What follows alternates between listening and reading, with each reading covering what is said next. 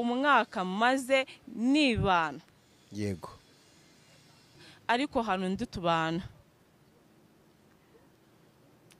Uvuze ngo iki? Ntabwo rero arabitubwiye. Ufite undi mubana? Ndamufite. Ntabwo twabimenye. Uretse ubwo twagukunze cyane? Tuzi gusenga. Waje kwishingira gute koko? Koko koko koko koko madamu pasiteri tehoje ubu koko iyo umutwereka ntiwishingire cyangwa se ya- yaje muri iriya nzu mubamo uwo mwinjira koko ndamufite uvuze ngo iki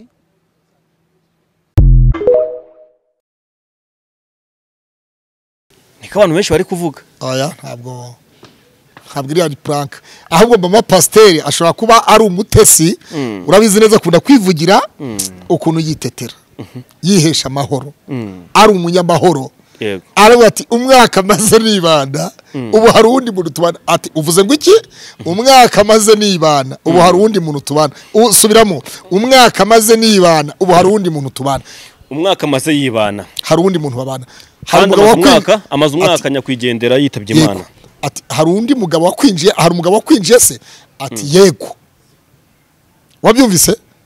Hari undi mugabo wakwinjiye se? Yego. Ah, uriya mudamu aracyari mutoya afite imyaka mikeya urabona nawe se wowe umuntu uri mu myaka nyirango ubu ni bwo ageze nk'imyaka ya mirongo itatu n'ibiri n'itatu. Mm. ibintu nk'ibyo. Yego. Yashatse ari mutoya. Mm.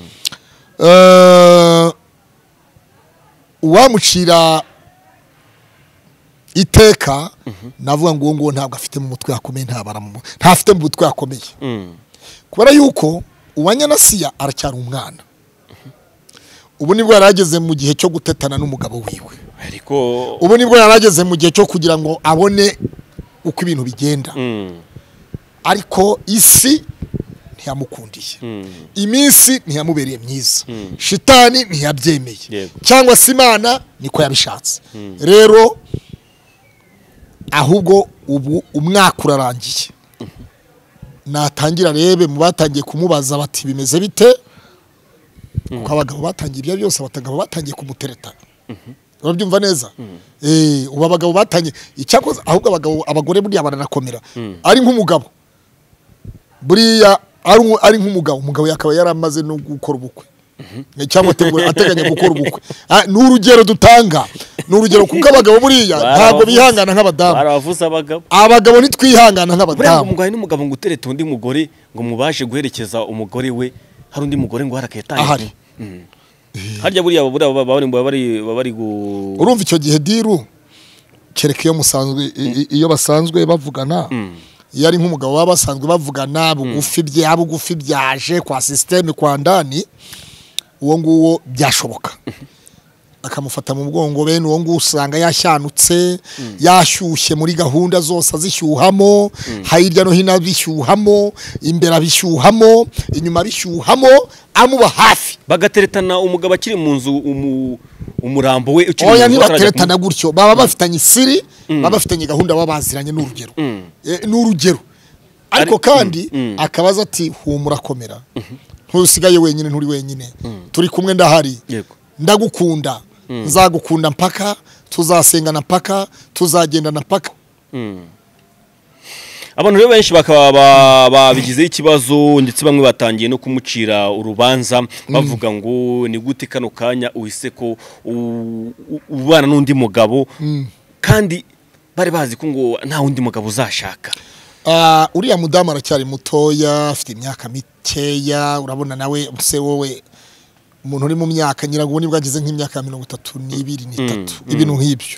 Yashatse ari mutoya. Mm. Eh, uwamucira iteka navuga ngo uwo nguwo ntabwo afite mu mutwe hakomeye ntafite mu mutwe hakomeye Mm. kubera yuko uwa nyanasiya aracyari umwana. Ubu ni bwo yari ageze mu gihe cyo gutetana n'umugabo wiwe. Ubu ni bwo yari ageze mu gihe cyo kugira ngo abone uko ibintu bigenda. Mm. ariko isi ntiyamukundiye Mm. iminsi ntiyamubereye myiza. Shitani ntiyabyemeye. Cyangwa se imana niko yabishatse. Rero ahubwo ubu umwaka urarangiye. Natangira arebe mu batangiye kumubaza bati bimeze bite?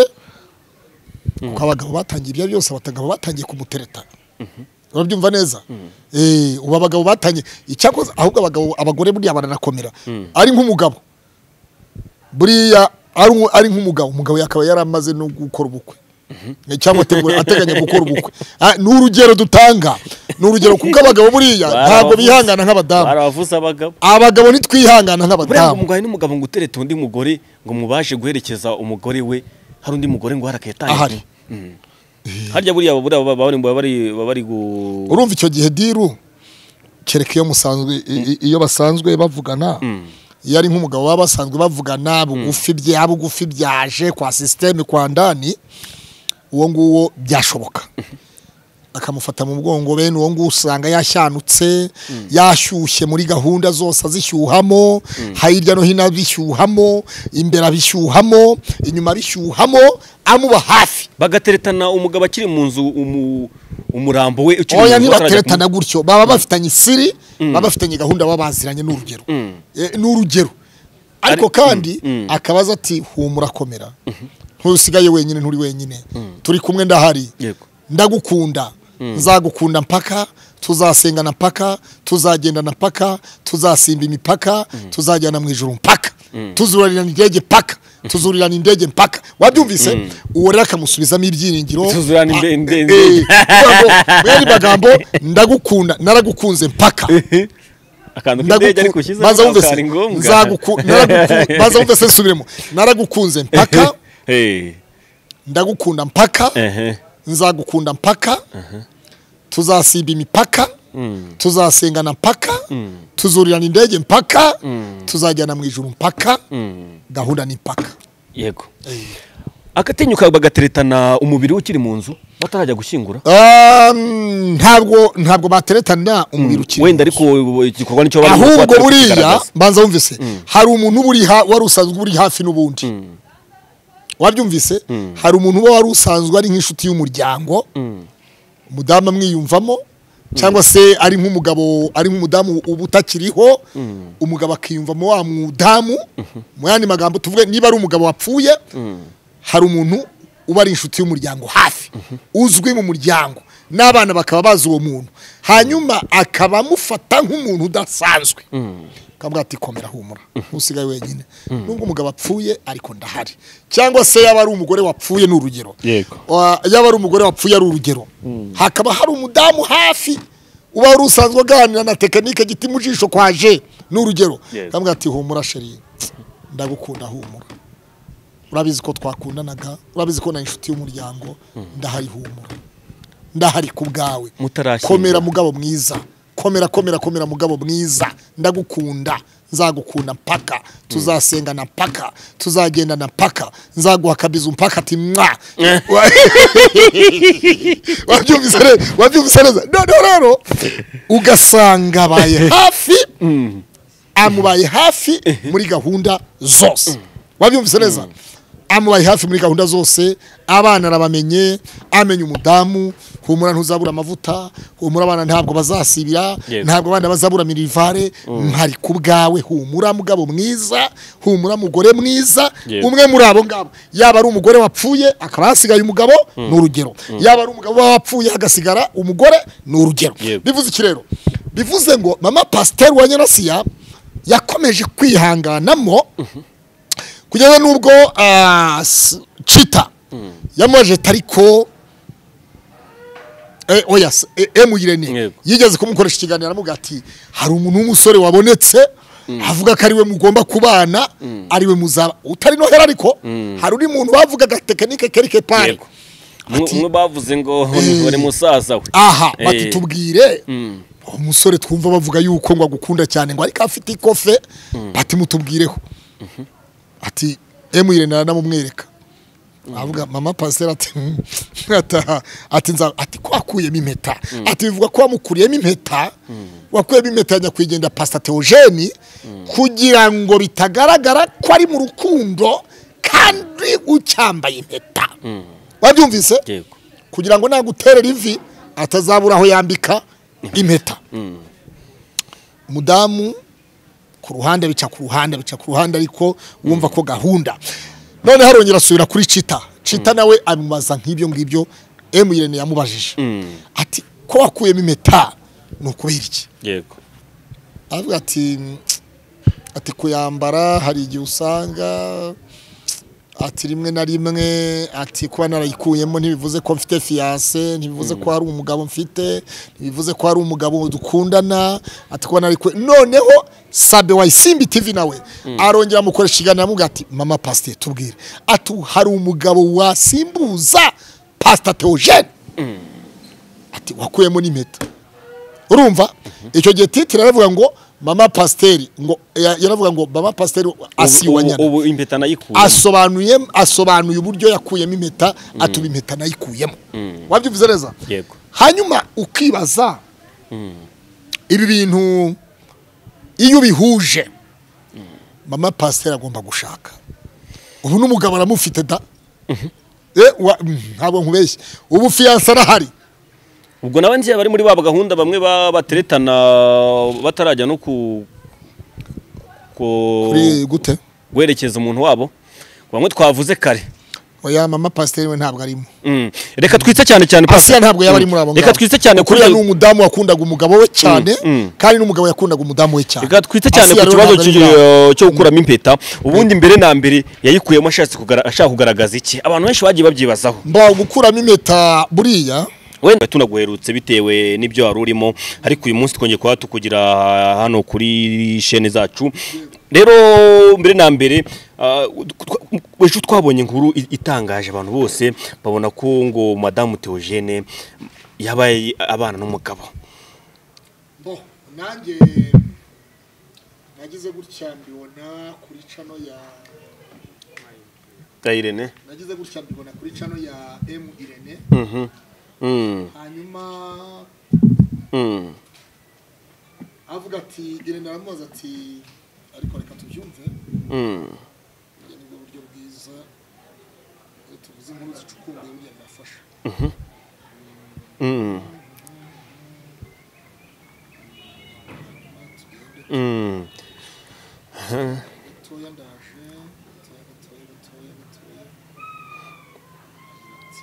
Abantu rero benshi bakagenda bifuza ko twazaganira bakatumenya ukuri. Ese kuko ni byo? Abandi bakavuga ngo hari igihe wasanga ari pranka nawe ngo yakoze. Ibyo bintu. Abantu benshi bagenda babivuga batanga ibitekerezo mu buryo butandukanye. Rero niyo mpamvu nifuje ko twaganira ndetse tukanakura abantu mu rujijo umwaka maze nibana ariko hari undi tubana ndamufite Mm. ntabwo twabimenye uretse uko twamukunze cyane tuzi gusenga waje kwishyura gute koko koko koko koko koko madamu pasiteri tewoje ubu koko iyo umutwereka ntiwishyingire cyangwa se eh, ya-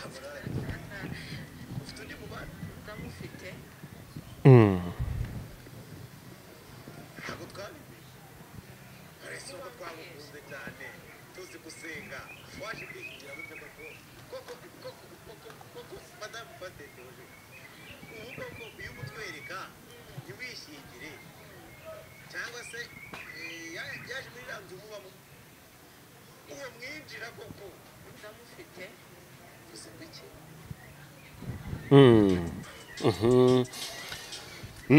reka duhere mu mizi cyane cyane kuba ku- kugira ngo tu- tubanze kubyumva neza. Ubundi byagenze gute kugira ngo abantu batangire ku- ku- ku- kuga- kugaruka kuri madamu Theogene bavuga ngo ntakwiriye kuzana undi mugabo uririmbira akaririmbo Mm. hariho umuntu nkunda cyane. Nawe arankunda bihebuje sinabona uko namunganya. Uwo muntu nta wundi ni yesu kirisito hariho umuntu unkunda cyane. Yego. Sinabona uko munganya. Mm. uwo muntu nta wundi ni yesu kirisito uyu mudamu mama pasiteri wa nyanasiya Mm. akorana ikiganiro na murinda habi Mm. Yaravuze ati umwaka amaze nibana. Mm. ariko ubu hari uwundi muntu tubana. Yego. Iryo jambo waryumvise? Umugabo. Umwaka amaze nibana. ariko hari uwundi muntu ubu baba. Ariko ngo umwaka amaze nibana. Ntabwo yavuze ngo umwaka amaze mbana na yesu. Mm. urumva? Yagomba kuvuga ati umwaka amaze mbana na yesu. Mm. Yakomeje kundindana na famiye turi kumwe. Abana banjye n'abandi n'abana b'inzahuke bose ati yesu akomeje kuturinda. Ariko yaravuze ngo umwaka maze nibana ubu hari uwundi muntu tubana. Wabyumvise? Aha twakibaza cya gihe nta wundi muntu babanaga. Uwo yesu ntibabanaga. Niba ari yesu. Noneho tukareba tuka- rero tukareba. Kuki yaruhije umunyamakuru? Yaragamije iki ariko nyuma nyuma niko abantu benshi bari kuvuga. Oya ntabwo ntabwo iriya ni puranka ahubwo mama pasiteri ashobora kuba ari umutesi urabizi neza akunda kwivugira ukuntu yitetera. Yihesha amahoro. Ari umunyamahoro. Aravuga ati umwaka maze nibana ubu hari uwundi muntu tubana ati uvuze ngo iki? Umwaka maze nibana. Ubu hari uwundi muntu tubana U- subiramo. Umwaka maze nibana. Ubu hari uwundi muntu tubana umwaka amaze yibana. Hari uwundi muntu babana hari umugabo amaze umwaka amaze umwaka nyakwigendera yitabye imana. Ati hari undi mugabo wakwinjiye hari umugabo wakwinjiye se? Ati yego. Wabyumvise? Hari undi mugabo wakwinjiye se? Yego. Abantu rero benshi bakaba ba- babigizeho ikibazo ndetse bamwe batangiye no kumucira urubanza bavuga ngo ni gute kano kanya uhise ko ubana n'undi mugabo? Kandi bari bazi ko ngo nta wundi mugabo uzashaka. Ah, uriya mudamu aracyari mutoya afite imyaka mikeya urabona nawe se wowe umuntu uri mu myaka nyirago ni bwo ageze nk'imyaka ya mirongo itatu n'ibiri n'itatu. Ibintu nk'ibyo. Yashatse ari mutoya. Mm. Eh, uwamucira iteka navuga ngo uwo nguwo ntabwo afite mu mutwe hakomeye ntafite mu mutwe hakomeye. Mm.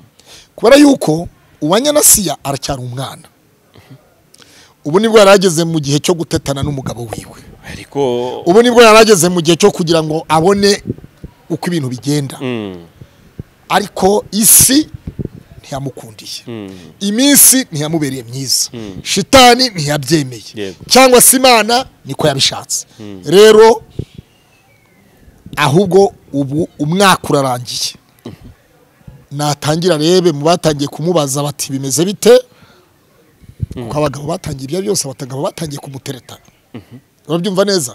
Eh, ubu abagabo batangiye. Icyakoze ahubwo abagabo abagore buriya baranakomera. Ari nk'umugabo.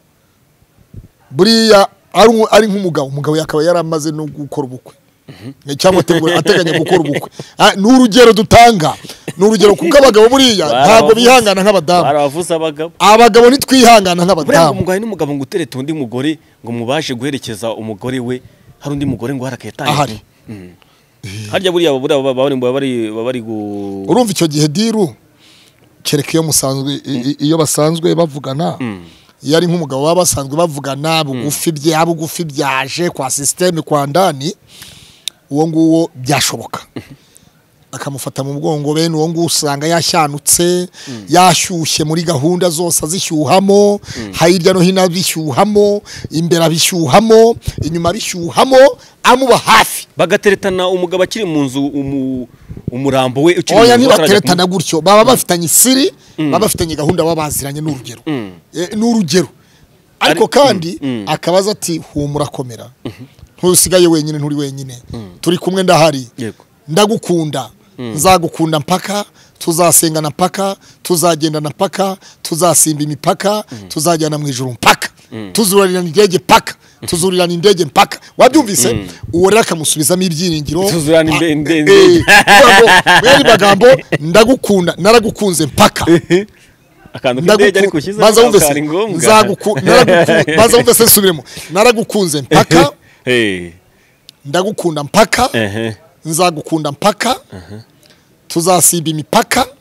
Tuzasengana mpaka tuzurirana indege mpaka tuzajyana mu ijuru mpaka gahunda ni mpaka. Yego. Akatinyuka bagateretana umubiri ukiri mu nzu batarajya gushyingura? Um, ntabwo ntabwo bateretana umubiri ukiri wenda ariko igikorwa ni cyo bari ahubwo buriya mbanza wumvise hari umuntu uba uri ha- wari usanzwe uri hafi n'ubundi. Wabyumvise hari umuntu uba wari usanzwe ari nk'inshuti y'umuryango umudamu amwiyumvamo cyangwa se ari nk'umugabo ari nk'umudamu uba utakiriho umugabo akiyumvamo wa mudamu mu yandi magambo tuvuge niba ari umugabo wapfuye hari umuntu uba ari inshuti y'umuryango hafi uzwi mu muryango n'abana bakaba bazi uwo muntu. Hanyuma akaba amufata nk'umuntu udasanzwe. Akavuga ati komera humura. Ntusigaye wenyine. Nubwo umugabo apfuye ariko ndahari. Cyangwa se yaba ari umugore wapfuye ni urugero. Yaba ari umugore wapfuye ari urugero. Hakaba hari umudamu hafi. Uba wari usanzwe aganira na tekinike giti mu jisho kwaje ni urugero. Yego. akavuga ati humura sheri ndagukunda humura. Urabizi ko twakundanaga? Urabizi ko na inshuti y'umuryango? Ndahari humura. Ndahari ku bwawe. Komera mugabo mwiza. Komera komera komera mugabo mwiza. Ndagukunda. Nzagukunda mpaka. Tuzasengana mpaka. Tuzagendana mpaka. Nzaguha akabizu mpaka ati mwa wabyumvise neza wabyumvise neza noneho rero ugasanga abaye hafi. Amubaye hafi muri gahunda zose. Wabyumvise neza? Amubaye hafi muri gahunda zose abana arabamenye amenya umudamu humura ntuzabura amavuta humura abana ntabwo bazasibira ntabwo abana bazabura minivare mpari ku bwawe. Humura mugabo mwiza humura mugore mwiza umwe muri abo ngabo. Yaba ari umugore wapfuye akaba hasigaye umugabo ni urugero. Yaba ari umugabo wapfuye hagasigara umugore ni urugero. Bivuze iki rero? Bivuze ngo mama pasiteri wa nyarasiya yakomeje kwihanganamo kugeza n'ubwo ah, cita yamubaje tariko eh, oya s- eh, emu irene Yego. yigeze kumukoresha ikiganiro aramubwira ati hari umuntu w'umusore wabonetse? Avuga ko ari we mugomba kubana ari we muzaba. Utari nohera ariko hari undi muntu bavugaga tekinike kerike pare Yego. Mwe- Ati- mwe bavuze ngo Eh. uri musaza we. Aha Eh. bati tubwire. Mm. umusore twumva bavuga yuko ngo agukunda cyane ngo ariko afite ikofe bati mutubwireho. Ati emu irene aranamumwereka avuga mama pasiteri ati "Hmm." Ati nza ati ko wakuyemo impeta ati bivuga ko wamukuriyemo impeta. Wakuyemo impeta ya nyakwigendera pasita teogeni kugira ngo bitagaragara ko ari mu rukundo kandi ucyambaye impeta. Wabyumvise? Kugira ngo naguterera ivi atazabura aho yambika impeta. umudamu ku ruhande bica ku ruhande bica ku ruhande ariko wumva ko gahunda. None harongera asubira kuri cita cita nawe amubaza nk'ibyo ngibyo emu irene yamubajije. Mm.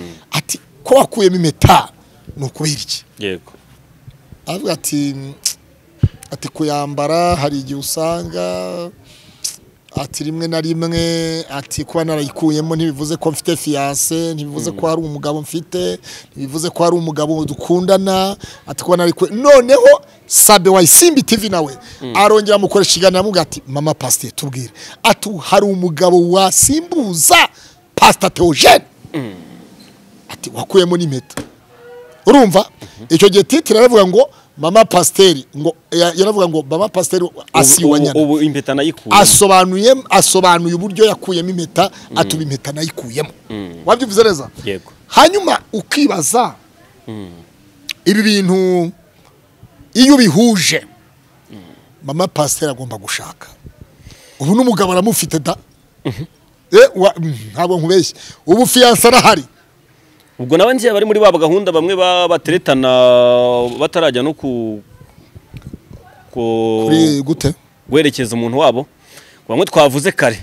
Oya mama pasiteri we ntabwo arimo. Mm. reka twitse cyane cyane asiya Pastor. ntabwo yaba ari Mm. muri abo reka twitse cyane kuri kuriya ni umudamu wakundaga umugabo we cyane Mm, mm. kandi n'umugabo yakundaga umudamu we cyane. Reka twite cyane ku kibazo cy'igi- cyo gukuramo impeta. Ubundi mbere na mbere yayikuyemo ashaka kugaragaza iki? Abantu benshi bagiye babyibazaho. Mba gukuramo impeta buriya wenda ikuriye ujya mu isoko ushobora kuyikura. mbo kuta ku ushobora- nanjye nshobora hari igihe ngeza mu kiganiro ntayambaye se?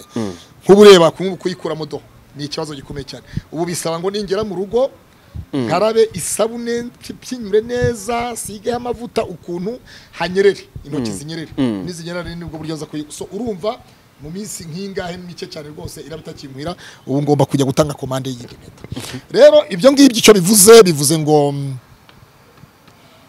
ashobora kuyibagirwa yego. Ushobora kujya muri dushe ukaraba koga akayita muri dushe akayibagirwa muri dushe cyangwa ashobora kuba arimo arisiga amavuta iby'abadamu namwe se rimwe na rimwe madamu baba bireba mu tuntu mu ntuze muri minwari hanyuma ugasanga impeta yayishyize hariya yisiga amavuta yiporotokora mu buryo bumwe cyangwa se ubundi impeta akayibagirwa. Ah, ikindi nanone ashobora kugira abajyanama bakamubwira bati kuramo iyo mpeta izajya ihora ikwibutsa byinshi. Izatuma udashaka. Kandi ukeneye umuntu uguhoza amarira. Ukeneye uguhoza amarira. Ukeneye uzajya kwita mutembashyushyu ukwita murekatete kabatesi garuka utete gira amata ngwino ndebe urasa neza. Uri umugore mwiza. Ndagukunda. Cyubahiro. My wife. My baby. My heaveni my heaveni my chocolate. My heaven. my- eh, ibintu nk'ibyo. Eh, my sh- eh, my utuntu ngutwo urabyumva neza. Rero ntabwo yabona umwita gutyo acyambaye ya mpeta. Wabyumvise neza? Njyewe nigeze ntereta umuntu w'umudamu yari yarapfakaye. Ndamubwira ntumva rero nkubwire ntabwo dushobora kugirana ikiganiro ucyambaye impeta iyi mpeta uramutereta umugabo yamaze gupfa. eh, eh, eh, yari amaze n'imyaka myinshi cyane. Yari ari mu myaka nk'itanu cyangwa itandatu. Acyambaye impeta yego. Kubera iki? Arangije asubira ijambo rivuga ngo iyi mpeta nyambara. Yarambwiye ngo nkwambitse impeta nk'ikimenyetso cy'urukundo. Tuzatandukanwa n'urupfu cyangwa yesu agarutse. Yego. None hariho sasa ndamusubiza nti ko wavuze ko muzatandukanwa n'urupfu? Ko yapfuye atakiriho? Kubera iki uwo munsi apfa utahise uyikuramo umaze kumushyingura? Urabyumva neza? Urabyumva neza? Arambwira ati naramukundaga cyane. Ati kandi n'ubu ndacyamukunda yego. Yasigiye abana. Abo bana mbabonamo se wabo. Kuko abo bana ntabwo nababyaranye n'igiti. Ni abanyakwigendera ati rero ibyo byose ni byo byatumye ngikomeza kwambara iyi mpeta. Ati kandi iyi mpeta yandinze byinshi. Yego. Iyi mpeta yandinze bya bigabo by'ibigoryi. Wabyumvise neza? Hari abagabo b'ibigoryi. B'ibigoryi. Barahari abagabo kumutereta. Eh, ati yandinze abagabo b'ibigoryi. Ati iyo nambaye impeta nkatambuka baravuga ngo ni mu bisi uyu mudamu ati nk'utazi ko napfakayewe ashobora kuvuga ati ni madamu w'umugabo. Icyubahiro ati icyo gihe iyo mpeta yinsubiza icyubahiro ibimpaye icyubahiro. Ati ariko buri uko ngenda mpeta nayikuyemo ntayambaye. Bigaragaza ko umuntu wese muhaye umwanya ngo baza mbaza ijambo. Niteguye kugusubiza. Icyo kintu cyumvise? Ibyo rero bituma impeta ifite sekirite ifite sekirite mu buryo bumwe cyangwa se ubundi. Umuntu ufite gahunda mu mutima yo kubaha imana no kutidumbukiza no kutagwa mu byaha. Uyu yabonye umudamu wambaye impeta amuha agaciro. Amuha agaciro. Ariko impigi. Mm. impigi zo impigi ariko avuze abagabo bamutereta naza kugarukaho nawe ko nawe uri muri abo ngabo twagiye ku mpigi. Ibyo simbizi Mm, kuko wowe waje nyuma nagusobanurira. Oya nta byo kuza nyuma ibyo ntabwo biri iwanjye biri ahandi. Ni umuntu twaganiraga mbese ikintu igihe kimwe. Ni uwundi muntu twaganira ikindi gihe. Hanyuma ibyo rero bituma bimurinda abagabo b'ibigoryi abadamu b'abapfakazi mwese iri ni itangazo. Ntimugakuremo impeta. Ababa bazi ko mwarapfakaye baba bazi. Uje kukurambagiza azi ko uri umupfakazi azakubwira iby'impeta azagusaba ko impeta uyikuramo. Yego. Nawe ufite uko uzamusubiza ariko mu gihe cyose utarabona umuntu kwaje cyangwa ngo hagire umuranga umuranga ukuranga avuga ati ariko hari umudamu mwiza nzi w'umupfakazi. Yego. Yarapfakaye ariko ni umudamu mwiza. Icyo gihe ntiwemerewe gukuramo impeta. Kubera ko impeta ni isezerano. Bivuze ngo wasezeranye na kirisito yesu. Ni ukuvuga ngo ni ise impeta ni isezerano. Kubera yuko iyo usomye mu ezekiyeli cumi na karindwi cumi n'umunani haravuga ngo yasuzuguye indahiro kandi yari yamanitse akaboko ayirengaho ntazarokoka. Ntazarokoka. Ntazarokoka. Ni ukuvuga ngo rero impeta isimburwa n'iyindi mpeta. Kandi bibiri iravuga ngo ya divorce. Kandi imana yemera leta ko imana yemera amategeko ya za leta. Itegeko nshinga rya buri gihugu imana iraryemera. Kuko bibiri iravuga ngo nta mutwaro utwara inkota ubusa. Niba rero umutwaro utwara igihugu cyangwa se abayobozi b'igihugu bashyizeho amabwiriza cyangwa amategeko avuga ngo divorce ni ngombwa bitewe n'ibyaha bikorerwa mu ngo aho kugira ngo abantu bicane ni ngombwa ko divorce iboneka umwe akagira amahoro umwe agacukwe undi agaca ukundi kwiwe. Rero yesu uyu munsi wa none aramutse agarutse ku isi. Akavuga ati mbaye ngarutse hari ibyo nabonye mu isi bihari nje kubishyira ku murongo nje gutanga amategeko mashya nongere nsubire mu Yego. yesu divorce yayivugaho akanayigeraho akanayitindaho cyane. Akanarira. Yesu agarutse yavuga kuri divorce. Eh. n'ubwicanyi buba muri divorce. Buba gutandukana hagati y'umugore n'umugabo. Yesu akavuga kuri divorce hakandikwa paje. Za divorce muri bibiri haza indi bibiri nshyashya. Hakandikwa nka paje zigeze muri icumi n'ebyiri za divorce. Hari akantu wari uvuze ngo gukuramo impeta bituma ha abantu benshi bakumenyera ah, abagabo bagutereta abo wise mu ubwo muri ubwo buryo bigatuma ndetse na sekirite yawe igabanuka Yego. ubwo bituma n'ubundi utangira n'abagabo bagutereta babibonye ko n'ubundi ukiri umukobwa cyangwa se uri umukobwa wabyara iwanyu cyangwa iwawe. None tukibaza ko madamu Theogene yayikuyemo we yarashatse kugaragaza iki?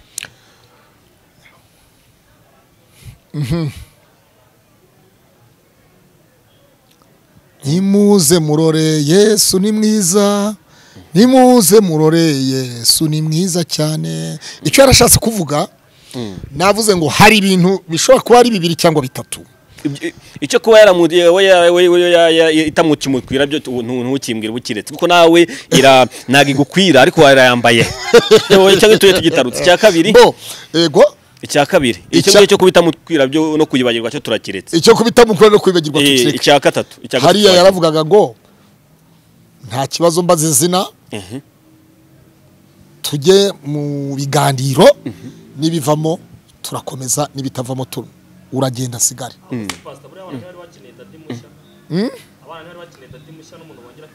Eh, nyine bariya bana baracyari bato kandi reka nkubwire Mm. eh, buriya umugabo wakinjira muri bariya bana Mm. Akabahereza urukundo. Icya mbere agomba kubanza kwifata akajya asura agomba kuba ari umuntu uziranye na mama pasiteri yasiya Mm. akajya asura amusura kenshi gashobotse. Hanyuma akagenda yitwaje twa biswi yitwaje utuntu twiza bariya bana akabafatisha utujuyisi utuntu twiza turi aho twiza. Mbese buriya rega ikintu gifata abana ntabwo ari ikintu kinini cyane. Wabyumvise neza? Umwana buriya akantu kose umuhanye umutima mwiza. Aragukunda. Wabyumvise neza? Hanyuma agatangira akabakubita mu ishuri. Mu ishuri. Akajya no kuba byose ariko ibyo byose bariya bana bashobora kuba bafite sizi uko numvise ngo hashobora kuba harimo sapoti y'abantu bashobora kuba babishyurira ibintu nk'ibyo. Mm. ariko wenda yajya n'abakurikirana. Eh, nyine akajya bakurikirana. Akajyana na mama bakajya ku ishuri aho biga rimwe na rimwe akababona bagiye ibintu nk'ibyo akenshi so urumva rero ibintu nk'ibyo ni byo bikenewe. Kumenya ubuzima bw'abana babayeho bate? Gufata a- fata umwana wese nk'uwawe. Yarangiza uwo mugabo akumva ko abana ba teogeni inzahuke niyo nshuti ari abana biwe. Noneho umwana akajya ababwira ati dadi ati mwamubonye dadi batangira bitwa tonto. Tonto mama tonto. Tonto kataheruka kudusura tonto. Wabyumvise? Bitangira byitwa tonto. Eh. nyuma ya tonto bikazaba dadi yego. Wabyumvise neza? Aho rero niyo tekinike igomba gufata bariya bana bo kwa teogene wabyumvise neza? Asiya ntabwo hakenewe umugabo wo guhura na asiya ku muhanda kuri hoteli ku biki eh, ngo bicare kuri hoteli banywa akantu basangire akantu. Oya. Uwo nawe ni sawa naheraho abanze ajye kwiyabonesha mu bana abana bahari ari muri wikendi abana bavuye ku mashuri batari ku ishuri yiyaboneshe buke buke bucece bucece bucece bucece bucece erega umutima mwiza ni mugenzi w'imana Eh, umutima mwiza ni mugenzi w'imana. Asiya rero uko ameze uyu munsi wa none ntabwo akeneye umugabo wo kuza kwinjira mu byo kwa teogene akeneye umugabo ufite sapoti ufite ubushobozi bwiwe uvuga ati jyewe kuko biriya byose ni iby'abana ba teogene yego. Wabyumvise? Eh, biriya ni imitungo y'abana ba teogene ahubwo hakeneye umuntu uza gushyiramo nanone urumva? Aramukeneye cyangwa ni wowe ni uko wowe uri kubitekereza? Eh, uvuga uwo ukeneye undi Araba- aramukeneye umugabo umu- umugabo. Haramukeneye nyine none rego buriya hari ahantu teogene yajyaga amushima mu mugongo hafi aho batabasha kwishimira. Eh, hari aho yamushimiraga ati yakishima. Kandi ntabwo hashimwa n'uwo ari we wese. Eh nari ngiye kuvuga ngo wenda nari ngiye kuvuga ngo umwana yajya kumushimira aho ngaho inyuma. Aho ngaho atari gushyikira. Umwana? Mm. Oya, umwana yabyaye se? Eh. Umwana yabyaye? Hari aho umwana adashima se? Eh, hari aho umwana adashima. Hari aho umwana yashima n'aho atashima. Mm. hari ahashimwa n'umuntu ukuze? Ubifitiye ububasha. Impeta yikuyemo kugira ngo abone uwo mugabo. Oya ntabwo ariyo mpamvu. Ntabwo ariyo mpamvu. Kuko impeta kuyikuramo bifite ibisobanuro byinshi. Reka dutinde kuri icyo ngicyo wari uvuze ngo Eh. cyo gushima. Eh. Mm. yikuyemo kugira ko nk'ubu ngo nubona ubu mu mugongo none se nshobora kuba ndi muremure ariko umwana akaba atabasha gushyikira ahantu abasha kunshimira. Cyangwa se mo kimwe hari aho umwana adafite uburenganzira bwo gushima. Oya babyumvisha wibitindaho byihorera Mm. bitarangira ubivuze so bivuze iki rero? Asi yakeneye umuntu umuha urukundo rwinshi rutarimo uburyarya rutarimo kwiyorobeka rutarimo parapara rutarimo sababu kandi akeneye umugabo utagira umushinga akeneye umugabo ufite ibyishimo. Akeneye umugabo ukunda guseka. Akeneye umugabo usabana n'abantu. Ntabwo akeneye umugabo w'umushiha w'intare w'ingwe n'ingona. Uwo si we ukenewe kwa se. Ese kubera icyo abantu benshi ba- ko kumva umugo- umugore wa- wa- wabuze umugabo we umugabo we yitabye imana nyuma y'ukwezi cyangwa amezi abiri atatu akahita yibonera undi mugabo akahita abana akayabasiga cyangwa se akabajyana. Mama se we ko babitinzeho cyane kuba amaze umwaka akavuga nk'ibyo bintu akabivuga cyangwa agakuramo impeta. Abantu bakabitindaho cyane. Baca umwanya mu kinyarwanda ngo ushaka gukira indwara arayirata. Atangiye kuyirata? Indwara. Kuba yaravuze ntabanje kumumwereka. Uramumwereka. Nka mushiki wanjye. Kuko uriya aremewe wabyumvise neza?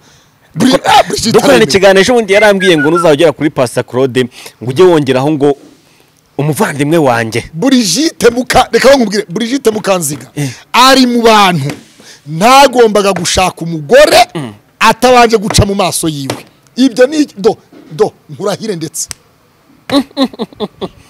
ni ibiki byihishe nyuma y'ibyo ntabwo nakubeshya aposo ntambara satade ari mu bantu. Ntagombaga gushaka umugore ntabanje kumumurika mu maso ye. Mm. Eh, wabyumvise? Oya reka nkubite rero bishatse kuvuga iki rero nta muntu apotere gitwaza yaravuze ngo inyuma y'umuntu hari ah, oya ni umugore bataba bose babireba. Yaravuze ngo inyuma y'umuntu hari uwundi. Komantere zidutuka ariko tuba dufite abantu. Kandi hari abantu batamenywa n'umuntu uwo ari we wese. Baza wumve inshuti nyanshuti ntabwo tuyizana kuri kamera. Icyo kintu wacyumvise neza? Eh. inshuti nyanshuti ntabwo iza kuri kamera. Hari inshuti dufite hariya duturanye. Hari inshuti zituye hirya tutazi muri gasabo. Hari inshuti zituye muri kicukiro muba mutazi. Hari inshuti zituye muri nyarugenge. Hari izituye muri nyagatare. Hari izituye rwamagana. Hari izituye kayonza. Hari izituye rubavu. Hari izituye hari ziba zituye mu mahanga. Ariko zitubwira ngo komera. Turi inyuma yawe. Abo bagutuka ni ibigarasha by'ubuzima bwawe. Ariko twebwe turakwemera. Iyo bagutuka ubyitwaramo gute pasita n'ubu ntibantuke kuko ujya kuntuka arabanza areba ikiganiro wabyumvise namara kureba ikiganiro ahita antuka wabyumvise neza? Buriya baravuga ngo se pasiteri none se tumutuka agacece ka abanza izo mbaraga wumve zikura nyine banza wumve. Nunuka unuka wese ntabwo yanuka muri komantere atanya atarebye ikiganiro. Urebye ikiganiro wese arantuka. Wera ndukutu. Ubu ngubu igihumbi nagutuka ukabyemera. Ibyo ni akazi kawe. Uraba warebye ikiganiro kuba wakirebye se. Wowe icya mbere uramanza Apfa urebe banza urebe se? Eh. niba uri ingurube uranyita ingurube. Wabyumvise? Niba uri agasamunyiga uranyita agasamunyiga. Niba uri imbwa uri bunyita imbwa. Urabona wabyumvise neza? urabona ari ingurube? umugabo ku wundi kirazira akamwita izina atitwa. Icyo kintu wacyumvise neza? Yego. icya mbere unyara uhagaze nkanyara mpagaze wabyumvise neza? Yego. rero ntukwiye kumbwira ngo ndi imbwa kandi nawe unyara ahagaze nanjye nyara mpagaze ngo uri ingurube? Icyo gihe nyine niwunyita ingurube uri ingurube. Wowe uraba urenze kuba ingurube. Kaba gusuzuguye. Nyine niba wisuzuguye buriya nufata umuntu ukamwita iki? Nawe uri uzi icyo uri cyo uri nkawe. Nawe uzaba wabaye icyo. Uzi ko bariya ngo hari n'undi muhango? Hari n'umukobwa uva abona umuntu w'umugabo mukuru nkuye mu kiganiro mu kiganiro cyawe. ubu impamvu ndi kukubwira impamvu kubw'ibyo bintu. Uzi ko hari n'umukobwa umu- wita umugabo we cyangwa se umumama cyangwa umugore akita umugabo we ngo ngo ni imbwa. Nyine urumva iyo amwise imbwa ubwo icyo gihe aba asengezwanya n'imbwa umuntu muzima ntasenzanya n'imbwa wabyumvise neza? Kwita umugabo wawe ngo ni imbwa cyangwa ukita umugore wawe ngo ni iki n'iki icyo utagomba kuba uri cyo ugomba kucyita mugenzi wawe. Wabyumvise neza? Bityo rero bivuze ngo twese tugomba kubana mu bworoherane. Tugaruke ku mu- ku mumansera washaka wibuka ko turi ku gitego hoteli. Yego, Gitego hano- hoteli ni ho hemewe. Ha, yego. Inyuma ya rwa Gusa, Remera. twabivuze dutangira, Mm. Mm. tunasoza twabivuze. rero tuka- tu- uretse gato mbere dukomeza tuba twayisomye yose uko yakabaye Mm. reka tugaruke ku mumansera wari ushatse gukura mu kimansera Mansera? ushaka kumurongora ushaka kugira ngo akubere umugore yego pasiteri yikuntu ko ari shitani reka mbaze nkubwire uzi ki masera hahise haboneka umugore w'umunyakanadakazi umwe wavuzwe ngo uri kukwishyurira oya nta ni ukuri kw'imana Eh. Mm, oya tekanike ibishyimbo eh, are tekanike ibishyimbo aremera oya tekanike ibishyimbo ni amerika. Mm. Eh, twakomeje. Ne, urumva? Mm, umunyamerikakazi yahise ateramo. Amaze Umunyakanada. umunyamerika yateyemo. Amaze eh, sorry umunyakanada yahise ateramo. Urumva? Ateyemo. muri kumwe. eh, urumva? Masera ni uwa hano mu rwanda. Masera yari afite ikibanza cyiza yari afite ikibanza ku irebero cya kasamutwe. Urumva yaranjyanye anjyana ku irebero n'imodoka yiwe. Urumva n'imodoka yiwe ni n'umukozi wa leta. Urumva ubu ngubu ni umukozi wa leta. Ariko mbere yakoreraga kiliziya gatolika Yego. yari masera. Aba muri za hopitari ari umuyobozi ukomeye muri za hopitari mbese yamanuze mbese bya bitaro by'abapadiri mbese nawe ubyumva. Hafi aho bigenzurwa n'abapadiri ibitaro n'ababikira by'abakatolika. Tekinike rero siko zagenze? Hahise haboneka foromu diaspora. Diaspora izamara abantu izica ibintu byinshi ariko ndashima n'ibyo imana yampaye noneho habonetse ariko umenesheje ibanga oya nta bantu bari kubyumva. Mm, habe n'umwe. Njyana wa muswa we Ntabyumva kandi eni kuva dore ngiyi. Ikaze tv ngiyo zamuka ngiyo urugendo ngurwo Muri? Canada. noneho tekinike rero sasa. Akaginga kakajya koherezwa buri munsi. Akaginga, buri cyumweru buri cyumweru aka- akaginga ni Eh, ifaranga ndabyumva, akaginga. Mm. nawe rero umuntu akohereje kuri riya umuntu akohereje kuri western union umuntu akohereje kuri manigaramu umuntu akohereje he naho undi utegereje ko utegereje umushahara we w'ukwezi wo muri kigali. Urumva? Wabyumvise neza? Ibi bintu- twihuta. ibi bintu rero yarankundaga bye nigeze kujya kubwiriza i Dar es Salaam muri Tanzania. Yego. Na profete nyinirekwe Ernest. Wabyumvise? Yaramperekeje wa munyakanada. Eh? ni wa munyakanada uwo mwajyanyeyo. Umuki oya ntabwo ari nyinirekwe Ernest twajyanye nanajyanye na Bishop Samedi? Yego. Twagiye twagiye Dar es Salaam. Urumva? Hari hari igiterane gikomeye cyane twari dufite Dar es Salaam naherekeje Bishop wanjye Bishop Samedi Tobari no aramerekeza ngeza ku kibuga cy'indege i Kanombe. Urumva? Arazinduka iya Rubika ageza ku kibuga i Kanombe hanyuma akajya anyandikira kuri WhatsApp arambwira baby. Vuga ngo baby. Baby. Oya baby uzabwira wa mukobwa ukunda. Uzabwira wa mukobwa ukunda. Uza- uzabwira wa mukobwa ukunda. Urumva? None akabwira baby umeze neza waramutse neza baby. Nawe uko nawe ukava waramutse neza bebe nti naramutse neza mugore mwiza umukobwa mwiza. Baby ngumeze ute? Yenda wa muswa we yari umukobwa mwiza kuko ntabwo yari umudamu yari Mm. umukobwa. Yego.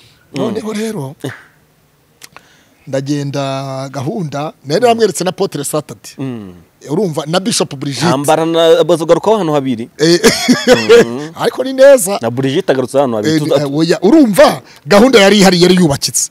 Ntabwo nari gushaka umugore atanyuze mu biganza byabo. Yego. Wabyumvise? Araguherekeza yampaye nka tofiri turi musamvu yangabinka urumva? Hanyuma yarankundaga. Hariho umuntu nkunda cyane nawe arankunda bihebuje. Sinabona icyo namunganya. Uwo muntu nta wundi ni yesu kirisito wabyumvise? Aho hari Yesu Kristo yasimbuye Pawulo rero yaravuze ngo kuko Mm. Pawulo yaravuze ngo akiri umwana yakoraga iby'abana. Amaze gukura akora iby'abantu bakuru. Dore wayumvise tekinike? Ibyo bintu rero telefone dore akaga ukuntu kaje kuza. Yaje kugira gutya yurira indege ajya mu bwongereza. Wa munyakanada? Wa oya wa mu mu- mu- mu- yaragiye muri mu misiyo bikira. yaragiye muri misiyo ubwo ni cyo gihe yaguherekeje akiri umubikira eh? Eh yara- oya yari yara- yari amaze iminsi abivuyemo. Ariko mbere mwatetanye akiri umubikira oya. Yari amaze iminsi avuye mu bubikira. Yari amaze iminsi avuye mu bikira yabonye n'akazi muri leta akora muri n'ubu ngubu aranahari kwazi iki kiganiro araza kukibona. Kuko arankurikira umunsi ku wundi. Urumva yaranantwereye njya gukora ubukwe. Ariko agutwerera n'agahinda. Nyine urumva ibitari ibyawe nta kundi. Baca umwari mu kinyarwanda ngo iyo nyiri umuringa aje urambura akaboko ugahereza. Bagaca n'umugani mu kinyarwanda ngo iyo nyihorayo oya. Ntabwo ihorayo bitewe n'uko biterwa n'umushumba wayiragiye. Urumva? biterwa n'umushumba wayiragiye. Noneho rero aza kujya mu bwongereza agiye mu bwongereza asa n'ugira arambwira ati sinzatinda kuko urumva yari yagiye kunyereka ibibanza ku irebero byiwe anyereka inajyanye n'i Butare anyereka n'amazu y'iwabo i Butare. Urumva? Ni yarasigaye ari uyu wenyine rudori yego. Tekinike rero yaje kubitera. Buriya diaspora ni beza ariko harimo n'abantu babi. Urumva?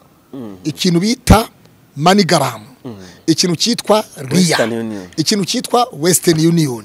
Ikintu cyitwa world limit. Icyo ni cyo cyantandukanyije n'umubikirakazi. Yego. Yabi- yarabimenye nyuma? World limit. Byaje kurangira? Reka mbaze nkubwire nepo Mm. urukundo ntabwo uru- kumbwira ngo urankunda. None se ikimenyetso cy'uko unkunda ni igiki? Nuko ngo wankubwira ngo uka nk'uko aya bebise bebise barabirya barabinwa urumva? Bibiliya umva biri uko ivuga. Buriya gutanga byatangijwe n'imana. Imana niyo yazanye ijambo ryitwa gutanga. Iyo usomye ubutumwa bwiza bwa yohani ibice bitatu cumi na gatandatu haranditse ngo kuko imana yakunze abari mu isi cyane byatumye itanga umwana wawe w'ikirege kugira ngo umwizera wese atarimbuka gutanga byazanywe n'imana. Ijambo rikubwira ngo ndagukunda. Ndagukunda itaguha na bombo. Ndagukunda itaguha n'intuze reka reka reka. Ntaguciye mu ijambo. Aho kantu twaganiriye uyu ni- ni ribwa tuganira ikiganiro aho kantu urakavuga. Noneho rero sasa Urambwira ngo- hari uw'ibishyimbo wavuzwe na na hori? Eh, eh, uw'ibishyimbo ibishyimbo wavuzwe na hori? Mm. yego. Uw'ibishyimbo wavuzwe na hori? Yari yemewe. Mm. ako nuba aremewe? Nuba aremewe. Kandi wubatse. Pasiteri uzakora ishyano. Abantu bose baremewe. Reka maze nkubwire. Kuba nubatse ntibivuze ko nanga abantu. Yego. Urabyumva neza?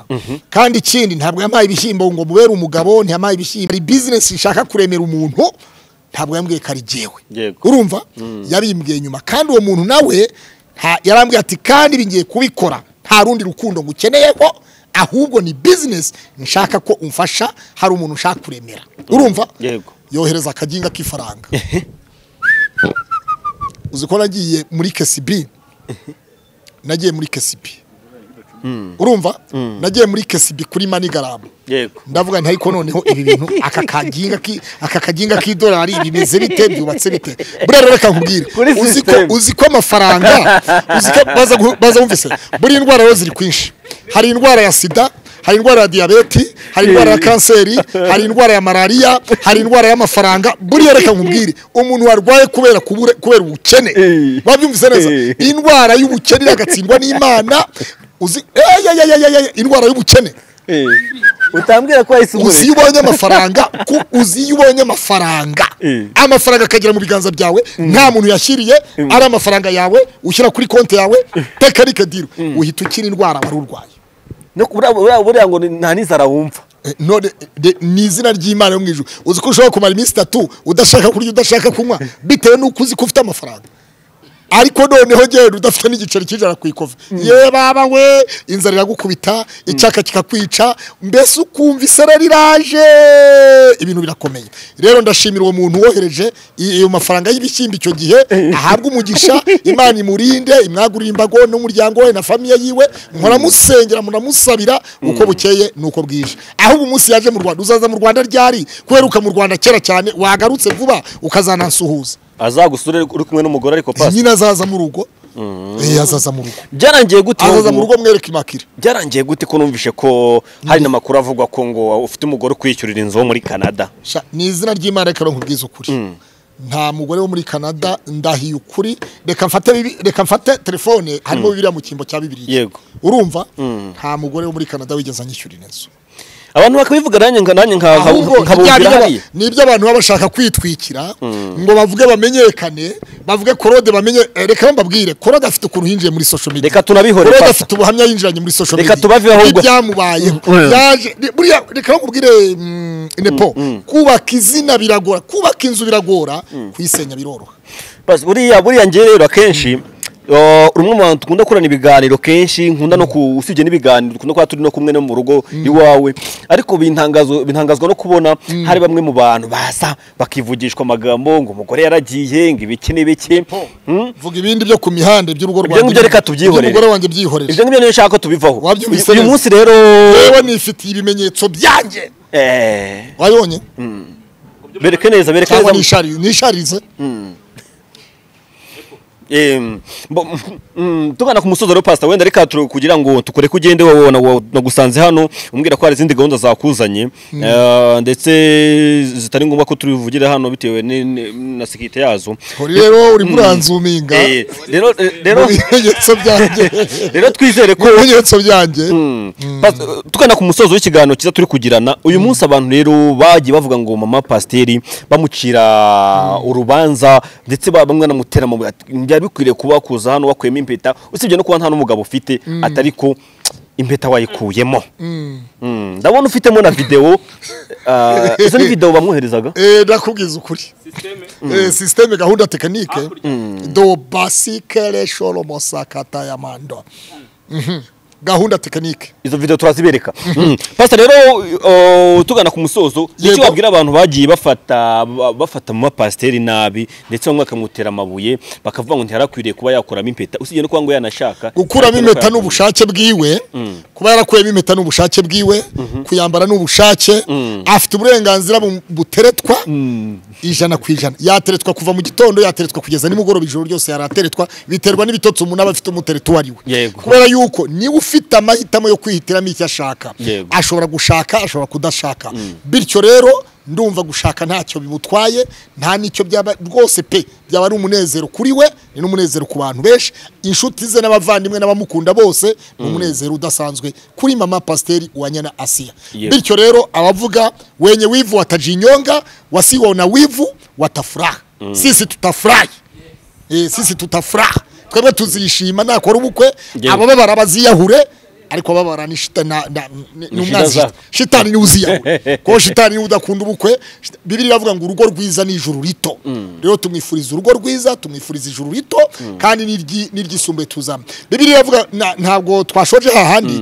Yesu ya- yaravuze ngo bibiri yavuze ngo yesu abwira abafarisayo ngo mu ijuru abafarisayo babajije abigishwa babajije yesu bati mwigisha ko hari umugabo yashatse umugore aza uwo mugabo aza gupfa. Yego. Uwo mugabo yavukanaga n'abavandimwe batanu. Umwe ara- arapfa undi aramuhungura arapfa. Undi arahungura undi arahungura. Bagera kuri batanu. Mwizuka uwo mugore azaba ari mukande. Wabyumvise neza? Ninde mugabo muri abo batanu uzitirirwa uwo mugore mwizuka? Yesu arasubiza ngo mwizuka ntibarongora ntibarongorwa. Nta muntu n'umwe uzaba ufite umugabo nta n'uzaba ufite umugore ngo kuko mu ijuru abantu bose bazaba bameze nk'abamarayika bivuze iki rero? Buriya mu ijuru ntabwo wa- asiya azaba ari muka pasiteri teogene wabyumvise neza. Eh, ni ukuri kw'Imana bibiliya niko ivuga mu ijuru ntabwo asiya azaba ari umugore wa teogene ntabwo teogene mu ijuru azaba ari umugabo wa siya ntabwo niyo nzima korode mu ijuru nzaba ndi umugore gabo wa imakiri. Nta n'ubwo imakiri azaba ari umugore wanjye mu ijuru. Kuko twese tuzaba tumeze nk'abamarayika